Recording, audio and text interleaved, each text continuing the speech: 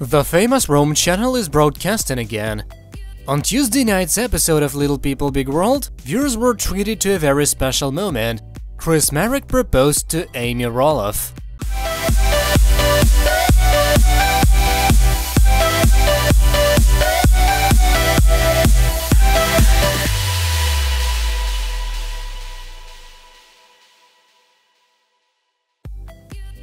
This question popping actually took place back in September, of course, but the installment was filmed many months ago and it gave fans an inside look at what led up to Marek asking for Roloff's hand in marriage.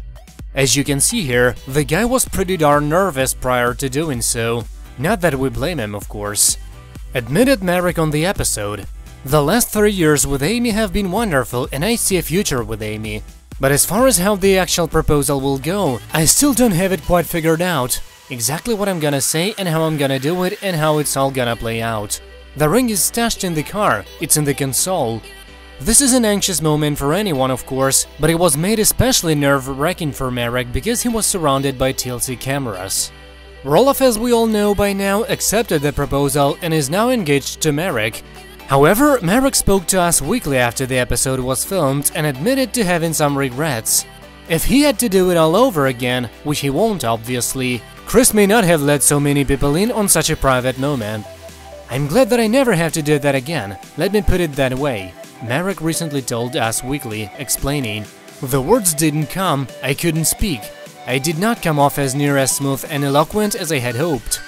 Marek got all choked up during the proposal, it was very sweet, and even labeled the experience horrible in this interview simply due to the embarrassment of knowing so many people would witness his emotional state even if it was for the most romantic of reasons.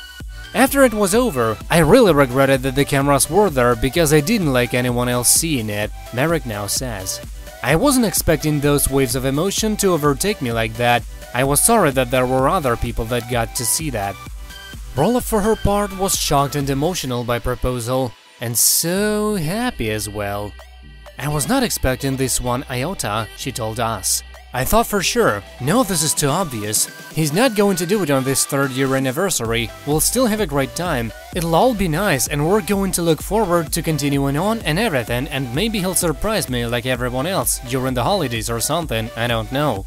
I was totally blown away, it was a huge surprise. As for what's next, Marek and Roloff will get married in 2021. We don't know many details about the wedding, but we do know whether Amy's ex-husband Matt will be invited to the big day. Roloff and Marek just talked all about that. It's not like they're not going to be invited, Amy said of Matt and his girlfriend Caryn Chandler. From there, Marek noted that he and Amy have the impression that it's not something Matt and Chandler are likely interested in attending, adding, they're welcome if they'd like to come. That's it for now, thank you for watching, please subscribe to stay tuned.